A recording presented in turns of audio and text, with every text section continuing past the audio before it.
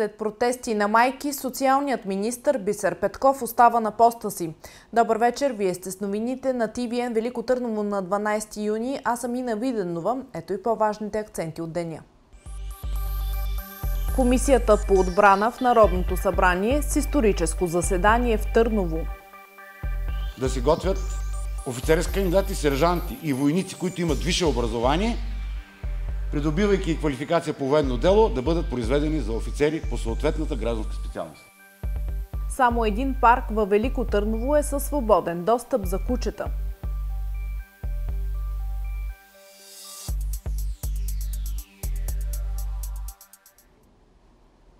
Родители на деца с увреждания в Добрич излязоха на протест тази сутрин.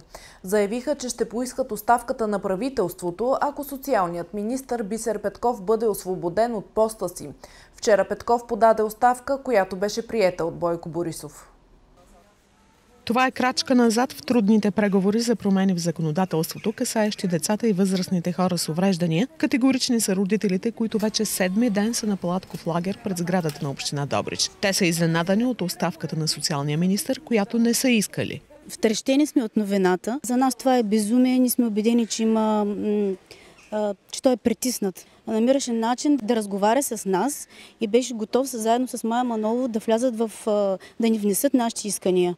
Майките на деца с увреждания са категорични, че ако правителството не се вслуша в техните искания, ще предприемат действия за свалянето му. Той беше единствения, който дойде при нас, той не чу, той не одобри всичко така, че настояваме започнатото да дойде и да го свърши.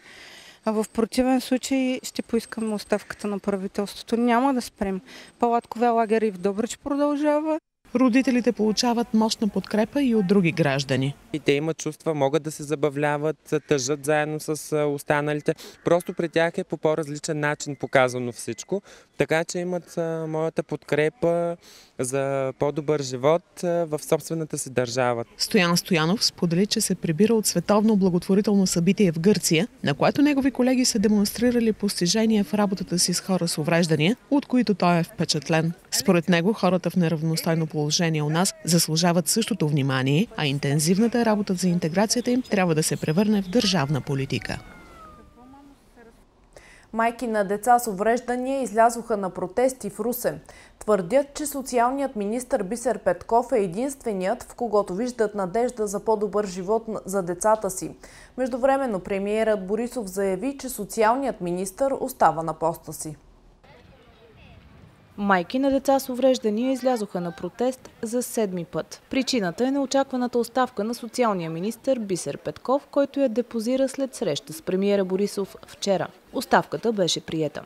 Днеска сме тук в подкрепа на министър Петков. Искаме той да се върне. Той е единствения, който беше на петия национален протест, беше през цялото време с нас, майките. Единствения министър в това правителство, който работи в полза на хората с увреждания. Не може този човек да каже, аз ще го предложа този закон и след два часа да се подаде оставката. Няма как. Той беше с нас. Синът на Кремена е на 22 години. Диагнозата му е мускулна дистрофия. Пенсията, заедно с социалната добавка, която синът ти получава, е 200 лева. Лекарствата му на месец струват повече от тази сума. Парички няма. Майка ми купуваше храна, зареждаше ми хладилника. Просто тя ни гледаше, няма как да стане. От един месец работя, детето ми пак започна да се влушава. Колко министър още аз трябва да чакам да се сменят, да се запознаят с нали, социалната политика и моето дете ще го преживее ли това? Той е на 34 години. Колко, колко още трябва да чакаме? Ако не се върне министър Петков, ние сме казали, че предприемаме оставка на правителството. Ще искаме оставка на правителството. Ако това не се случи, ще искаме оставка на правителството. Да дойде правителство, което ще е с нас, което ще ни разбере и което ще ни помогне да живеем. Тези деца трябва да живеят. Русица е майка на четири деца, две от които са с увреждания. Господин Бойко Бурсов, да го помолим този път да ни реве, да ни казва, че влиза в положение, а да действа. Междувременно стана ясно, че Бисер Петков остава социален министр. Това обяви премиерът Бойко Борисов по-рано днес. Министъра ми каза, че нямат никаква комуникация или поне такава, която да може да реши въпрос. Затова Оставям Бисер Петков да продължава да си изпълнява ангажимента, да направи срещи с тях, да видим дали това, което казват, че сега като имат министър, който изцяло ги разбира, реч правителството ги подкрепя, ще продължат с палатковия лагер. Щом това е министъра, който им харесва, щом казват, че дори не става проси за пари, ми да седнат да направят така, че този, тази тема да ми се махне от главата и на мен и на всички вас. От седмици наред стоят тези палаткови лагери. Аз до сега не съм чул някой да каже този министър ще ни реши въпроса. А това, че все повече лагери ставаха, означава, че не го решава. Искам да видя сега откъде идва тази задача към тях. Оставям го министър. Ще продължат ли палатковите лагери да стоят? Дали ще има палаткови лагери и още протести, зависи от това дали исканията на майките на деца с увреждания ще бъдат удовлетворени. Те са категорични, че няма да се откажат да защитават правата на децата си, както и няма да позволят на системата да ги убива. За пръв път в историята Комисията по отбрана в Народното събрание проведе изнесено заседание във Велико Търново. То се състоя в Националния военен университет, където началникът на учебното заведение запозна депутатите с работата по подготовката на курсанти, кадети и студенти. Изнесеното заседание на комисията започна с едноминутно мълчание в памет на загиналите пилоти от хеликоптера Ми-17. Началникът на НВУ, бригаден генерал Пламен Богданов, запозна присъстващите с структурата на военния университет и необходимостта от повече офицери в армията. Той сподели подробности и за новата ускорена програма за произвеждане на офицери, продиктувана от липсата на кадри в системата. Тя е продиктувана от сериозен некомплект на офицери във въоръжените сили, така че по ускорен начин да се готвят офицери с кандидати, сержанти и войници, които имат висше образование, придобивайки квалификация по военно дело, да бъдат произведени за офицери по съответната гражданска специалност. Председателят на комисията генерал Константин Попов благодари на депутатите, че единодушно са гласували решенията за усъвременяване на основополагащите актове, които са насочени към висшите военни учебни заведения. Наистина и правителството, знаеме и с министър Каракачанов, отпусна допълнително сериозни финансови средства за подобряване на материалната база, така както беше посочено и от началника на Националния военен университет. Образованието е приоритет и аз искам да благодаря за всички усилия, които се полагат от ръководството на Националния военен университет. Народните представители бяха посрещнати в Велико Търново от оркестъра на Националния военен университет. Депутатите поднесоха цветя пред паметника на Левски и плочата на възпитаниците в учебното заведение. Днес Бяла обявиха ден на траур в памет на загиналия при снощния инцидент край авиобаза Крумово, пилот на хеликоптер капитан Пламен Пантелеев, който е родом от града. Знамената останаха спуснати наполовина, а проявите, които не можеха да бъдат отложени, започнаха с минута мълчание. Инцидентът стана около 20 часа и 30 минути с нощи, докато екипажът от трима военнослужащи изпълнявал тренировачен полет с военно-транспортния вертолет Ми-17. По неизяснени за сега причини хеликоптерът е паднал от около 50 метра височина.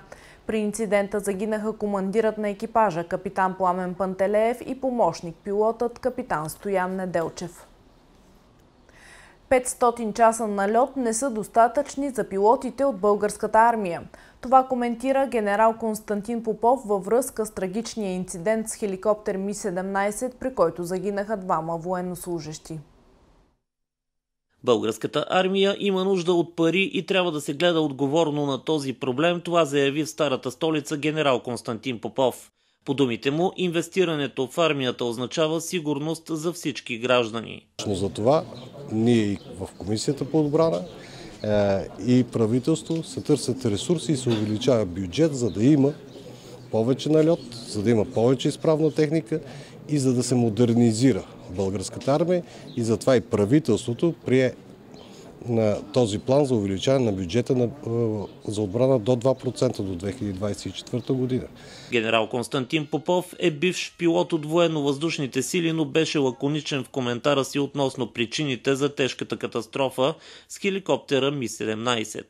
Странното е, че наистина при третия заход, до тогава вертолета е летял добре, правят три захода за, по това упражнение за търсене и спасяване и на третия заход, почти пред края на задачата, се случва този инцидент.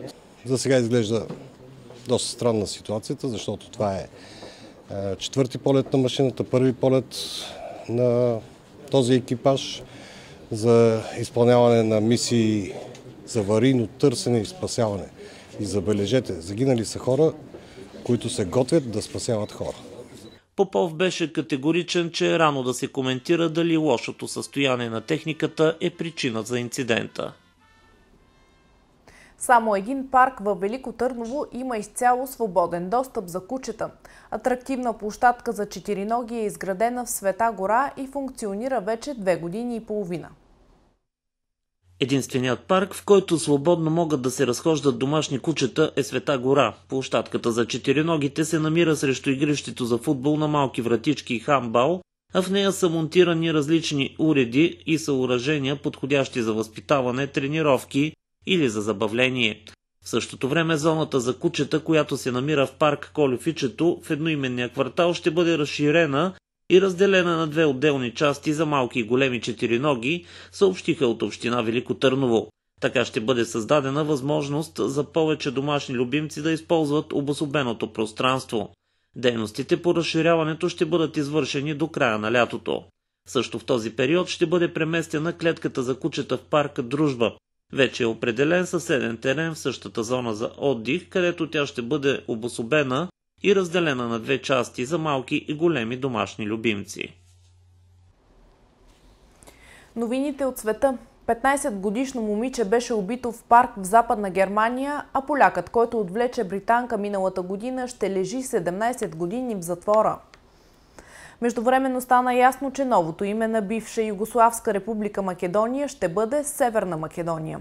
Следват подробностите събрани в хроника.